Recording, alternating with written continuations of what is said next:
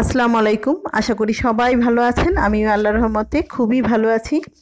আজকে আমি দেশি মুরগি দিয়ে আলুর একটি পাতলা ঝোল করে দেখাবো। আর দেশি মুরগি দিয়ে এই আলুর ঝোলটা খেতে খুবই ভালো লাগে। আমরা গ্রামে এইভাবে করি একটু ঝোল ঝোল করে আর একটু ঝাল ঝাল করে খেতে খুবই ভালো লাগে। আপনারা করে দেখতে পারেন। তো আজকে হলো বৃহস্পতিবার। আজকে বাজারের দিন ছিল আমাদের। সপ্তাহে দুই দিন বাজার থাকে। তো বাজার থেকে এই মোরগটা নিয়ে আসছিল। সেটাই আর কি পরিষ্কার করে আর কি ধুয়ে আমি নিয়েছি। দেখতেই পাচ্ছেন একেবারেই ফ্রেশ মাংস, বেশ মাংসল জুসি একটা। দেখেই বোঝা যাচ্ছে আসলে গৃহস্থ বাড়ির এই ধান খেতে বা এইরকম ধান চাল খেয়ে বড় হয়ে, হওয়া পালা মুরগি তো এই জন্য এরকমের তাজা ফ্রেশ তো আমি এদিকে একটা কড়াইতে তেল নিয়েছি, সয়াবিন তেল। আর এইখানে সকল মশলাই আমি আর কি বাটা মশলাটা ব্যবহার করব।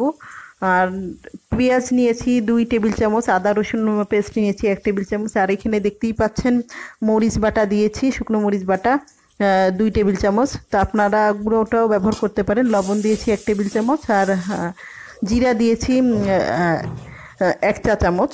আর অন্যান্য যে গরম মশলা, সেগুলো শুধু দিয়েছি এখানে হলো দারচিনি এক টুকরো, তেজপাতা একটা। আর অন্যান্য যে দার এলাচ বা গোলমরিচ, লবঙ্গ এইগুলো সবগুলো মশলাই আমি একটি জিরার সাথে বেটে আর কি দিয়েছিলাম।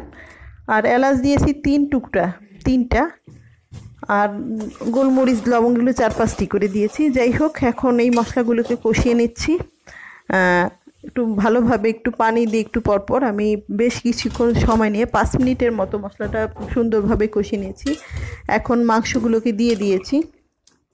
মাংসগুলোকে এই মশলাটি সুন্দর মিডিয়াম আছেই আমি পুরো রান্না কষানোর কাজটা করব।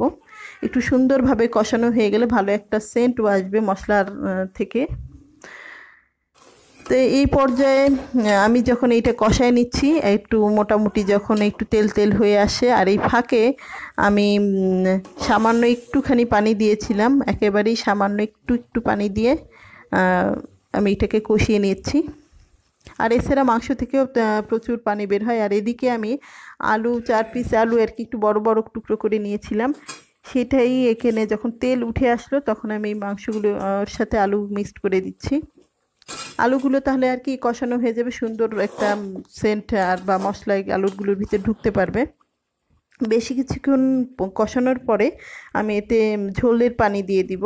ঝোল যে যেমন খান সে সেই পরিমাণে আপনারা দিতে পারেন। আমি একটু ঝোল ঝোল করব, এই জন্য আর কেউ কারও যদি মাখা মাখা করতে মন চায় তাহলে একটু পানি কম দিলেও হবে। তো আমি এই পর্যায়ে দিয়েছি। এখন এটাকে ঢেকে দিব কিছুক্ষণ। মিনিট দশেক পরে আমি আবার একটু নাড়া নাড়িয়ে দিব, একটু নাড়াচাড়া করে দেব।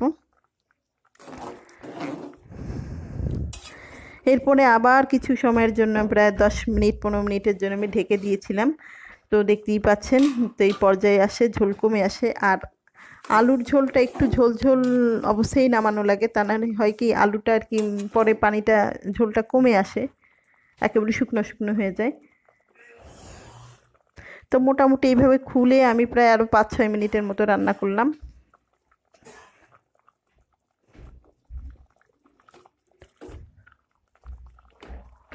আর এদিকে আমি যখন আলুটা একটু মোটামুটি দেখেছি সিদ্ধ হয়ে আসছে, তখন আমি দুটো কাঁচামরিচ দিয়েছি। আসলে আমার কাঁচামরিচটা খেতে ভালো লাগে, এটা আপনারা ইচ্ছা চাইলে দিতে পারেন, নাও দিতে পারেন।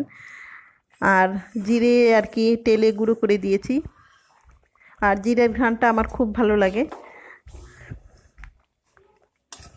তো এখন আমি এটাকে মোটামুটি তো আমার হয়েই আসছে, আমি এখন নামিয়ে নিব। ঝোলটা একটু পছন্দ মতো হয়ে আসছে। এই অবস্থায় আমি আর কি নামিয়ে নিচ্ছি।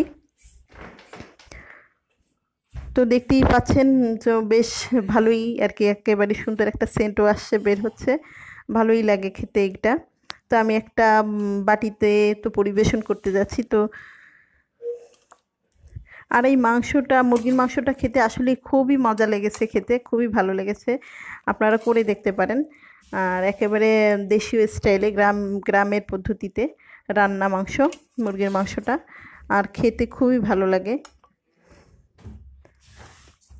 তো এই তো তৈরি হয়ে গেলো আমার মুরগির মাংস আলু দিয়ে মুরগির মাংস, একেবারেই গ্রাম্য পদ্ধতিতে, গ্রাম্য দেশীয় স্টাইলে।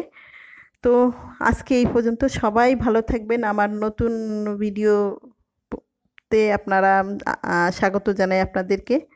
তো আল্লাহ হাফেজ আজকের মতো। সবাই ভালো থাকবেন।